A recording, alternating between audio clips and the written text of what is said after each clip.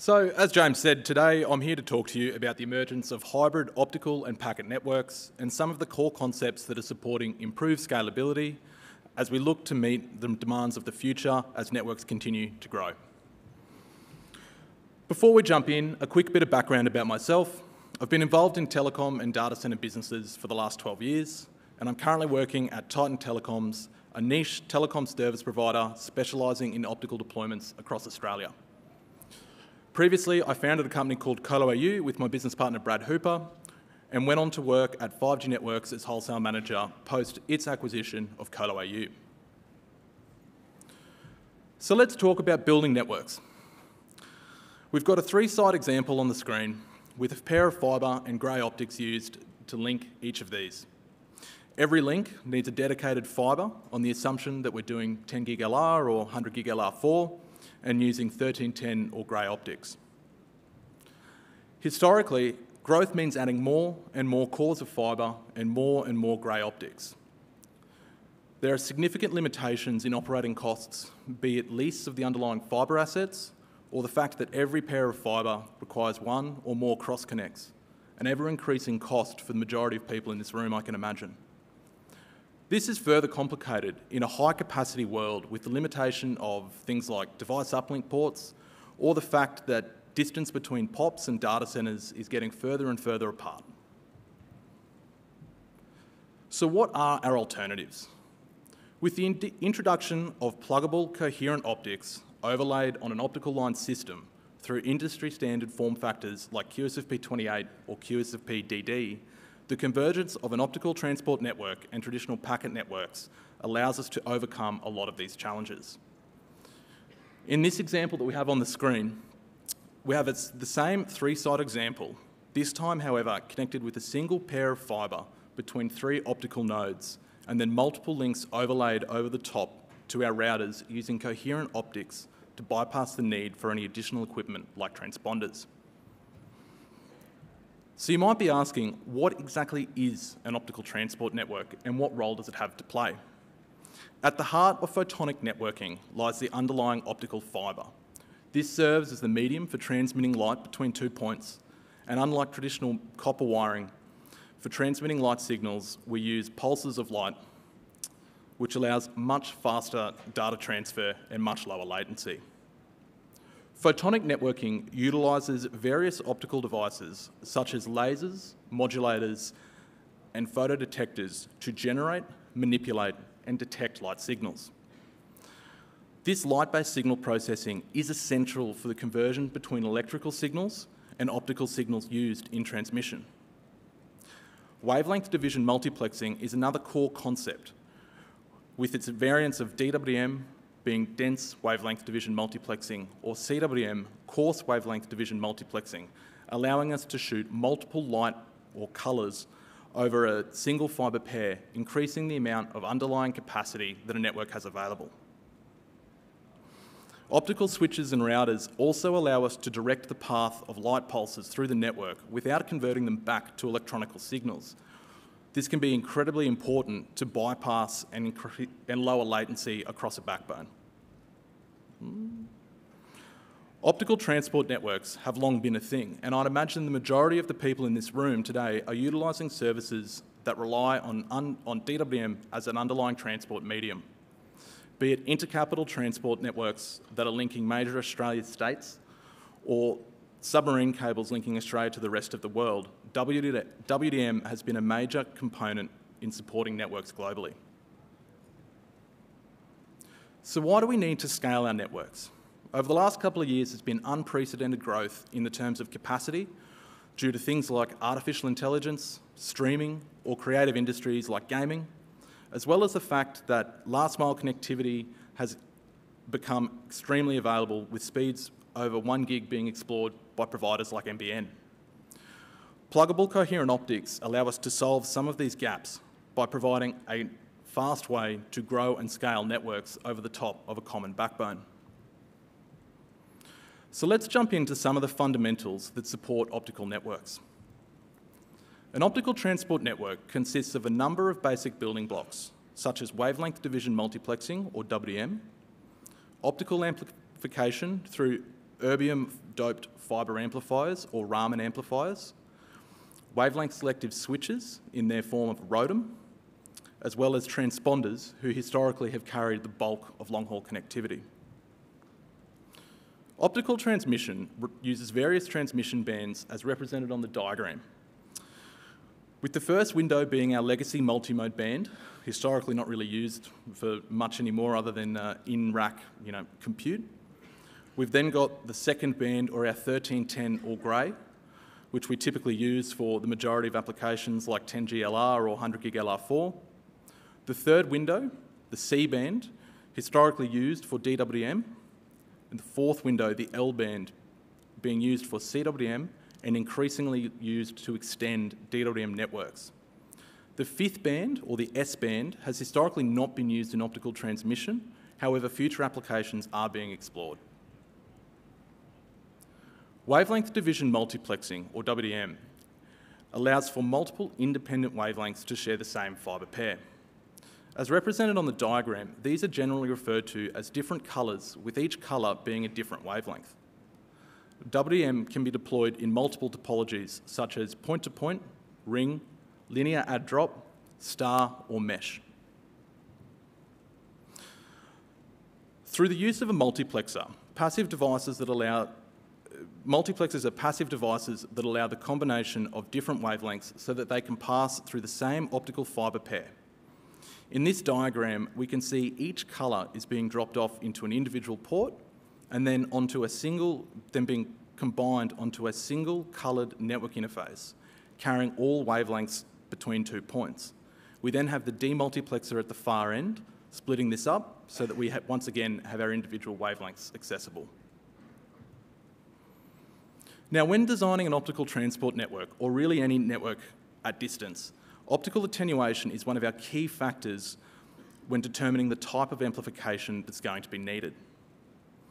Attenuation is typically caused by signal loss over the fibre, which can be due to things like the underlying quality of the fibre itself, splices, patches, panels, components, muxes, amplifiers, anything in between. The diagram here, we have an example link with a budget of 24 dB. With a launch power on the left-hand side at positive 1, over the course of the link, the endpoint is negative 23 dBm. Optical amplifiers are one of the critical building blocks compensating for attenuation over large distances. Typically, only the DWDM C band has been the focus, but of recent time, the L band has returned in popularity as an effective way of expanding WDM transmission capacity. There are two types of amplifiers that are commonly used erbium doped fibre amplifiers, or EDFA for short, or Raman amplifiers. Amplifiers typically have three common implementations, a booster being at the start of a link, an inline amplifier being in the middle, or a pre-amplifier being at the end of a link. EDFA amplifiers are the most common deployed around the world. EDFA amplifiers work by having a section of fibre doped with erbium ions. The rare earth element has unique optical properties that, with the application of a pump laser, injects energy into the erbium-doped fibre, exciting the erbium ions at a higher energy state. When the erbium returns to a low energy state, they release the absorbed energy in the form of photons at a wavelength around the 1550 nanometer band, or the C band. This process is known as stimulated emission and EDFAs can provide anywhere from 5 to 10 dB of gain at the low point or 20 to 30 dB of gain at a high end. In an example here, we can see an example link with an inline amplifier deployed between two mux-demux locations. For this example, we can assume that the distance between the two sites is over 80 kilometres, necessitating an inline amplifier in between to ensure enough light reaches the other side. We can see on the left-hand side that we're launching at a relatively high amount of power, and as attenuation is applied across the link, we can see that prior to the inline amplifier, the signal has decreased significantly. Following the inline amplifier, we can see that the EDFA has significantly increased the wavelength's power, albeit at the cost of some added noise on the system. Another amplification option for long haul is Raman amplifiers, preferred for long spans and high data rates. Unlike EDFAs, Ramans use the actual fibre as the gain medium rather than fibre doped with erbium. Ramans achieve their, Ramans achieve their amplification via stimulated Raman scattering known as SRS. Ramans can typically be placed at the end of a link as a backward scattering Raman, one of the most common eh, deployments, or at the start of the link as a forward Raman. In another worked example, we can see a long-haul fibre link marked in red. It's travelling over 220 kilometres with a launch power of positive 20 dB. We can see that it's dropping to negative 35 over the distance, which is going to be too low for us to use. We can then compare this to the green link, which travels the same distance but has a backward scattering Raman applied. This amplifies from the 220 kilometre mark back to 160, applying 15 dB of gain over the last 16 after, over the last 60 kilometres of the link, therefore allowing us to get from A to B with negative 20, and therefore we can do something with that. Raman amplifiers, however, have a couple of trade-offs. They consume 100 times more power per dB of gain than an EDFA. This can be typically very difficult in locations where utility power is not guaranteed. And since Raman uses the transmission fibre as the gain medium, the fibre is very important.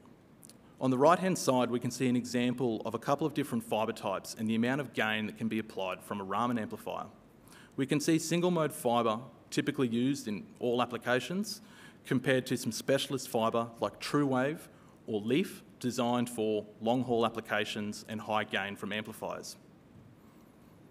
Now, as a slight segue, I want to impress upon you the importance of clean, high-quality connectors when using high-powered Ramans, when using high-powered amplifiers, especially Ramans.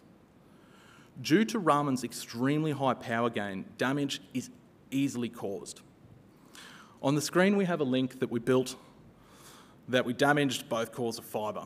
The left core, there's a transmit core. It didn't have a backward scattering Raman applied, and on the right-hand side, we had a Raman applied. The damage on the screen you can see is the fibre core is effectively burnt. This was caused by a flat UPC connector in a data center cross-connect, connecting to APC terminated street fibre. This caused excess scattering, leading to, leading to significant damage, and eventually the pigtails had to be replaced. For comparison's sake, that's what it should look like. Another core piece of equipment in modern optical networks is the reconfigurable add-drop module, or ROADM. In an example here, we can see a couple of pairs of transponders and a three-site optical line system that the transponders will transmit over. Between the transponders, we can configure a specific wavelength to go from one transponder to its partner transponder through our optical line system.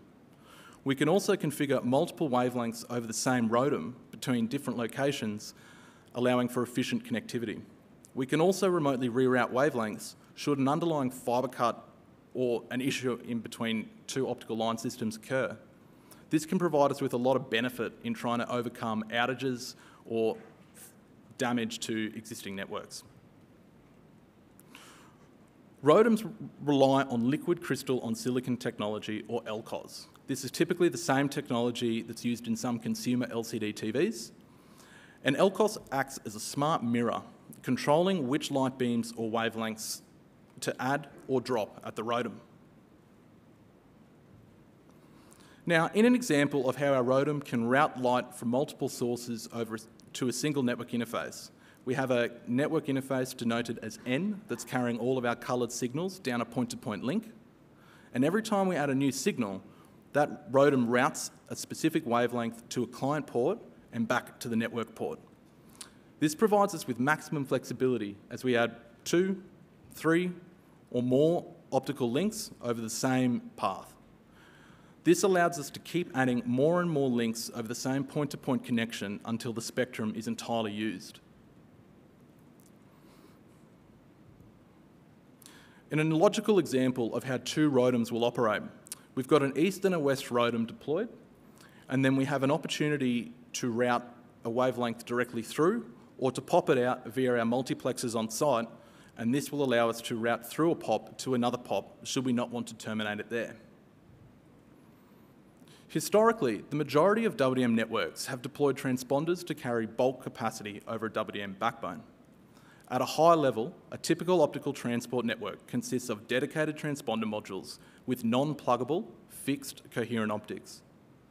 A transponder will deliver one or more grey or 1310 services on its client-facing side, carried via a single network wavelength over the WDM backbone. This may be multiple 10 gig services or multiple 100 gig services, depending on the configuration. Here we can see an example transponder circuit with the grey optics connecting on the left-hand side to our equipment, and then the transponder is performing the three Rs, reamp, reshape, and retiming, before aggregating multiple signals and sending them over a single wavelength. The transponder example in this case could be configured at 200, 400, 800 or higher speeds, providing bulk trunking capacity between two sites. In this example, we've gone with 600 gig and whilst beneficial if you want to move a lot of data from A to B, this can leave you with unused capacity if you don't need it there. This solution also adds an extra layer of hardware, adding capital cost and ongoing operational costs in rack space and power usage due to the use of a fixed transponder. So this is really where pluggable coherent optics are an absolute game changer for networks going forward. In this example, we've replaced the transponders in our previous design with coherent pluggables. By removing the transponder layer and moving to a common form fact pluggable like QSFP ZR Plus or QSFP DD ZR Plus, 100 gig and 400 gig interconnects between POPs can be carried over the same common optical transport network. This leads to a massive cost rationalisation through lower cost per bit, as well as effective spectrum usage in the C and L band. It's also less complex as it's compact in an optic and we don't have to manage any other equipment or pay for any more space or power to deploy it. So how can we look at applying some of the efficiencies and benefits of an optical transport network in the real world? As a real world example, let's take an NBN retail service provider who's connecting four points of interconnect back to a common aggregation point for core or subscriber aggregation. For best practice, we've used an east and a west path from each POI to provide diversity, leading to the use of eight fibre pairs or 16 cross connects and 16 cross connects. Whereas if we overlay this on top of an optical transport network, it looks something like this. This time we've deployed a ring topology using coherent ZR plus optics over the top of our optical line system. And here we can see that one underlying fibre loop exists compared to eight dedicated fibre pairs. Each POI still receives its two connections with an east and a west path, as well as, as, well as the potential to route if there is a fibre break.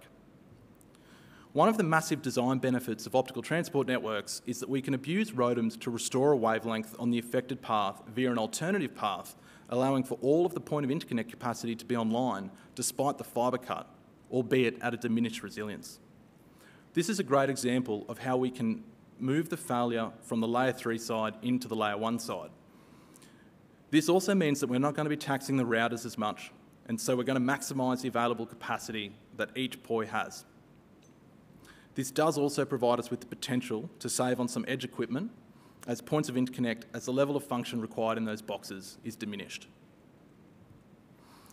I'd really like to thank the AusNOG Program Committee for this opportunity especially James DiTrapani and Michael Hobble in assistance in the presentation, and I'd further like to thank Jonathan Mantell and Tony Thomas from Adtran and all of Team Titan for their assistance. I'll now take a few questions before wrapping up.